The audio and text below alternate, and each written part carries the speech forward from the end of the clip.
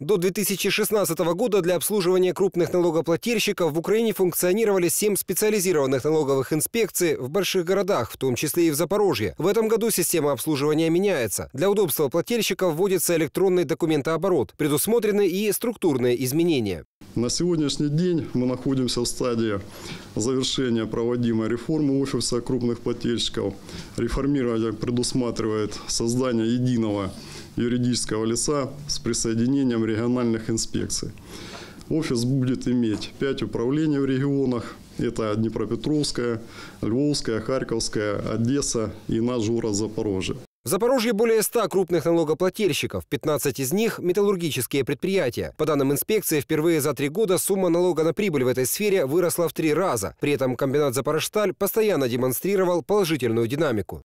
Запорожсталь – это крупнейший налогоплательщик, который обеспечивает рабочими местами и металлургов, и строителей, и инженеров, и представителей сферы услуг.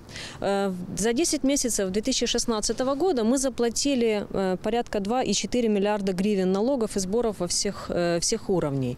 Эта сумма позволила бы выплатить пенсии в течение всех этих 10 месяцев 124 тысячам пенсионеров или обеспечить зарплатами 50 тысяч бюджетников.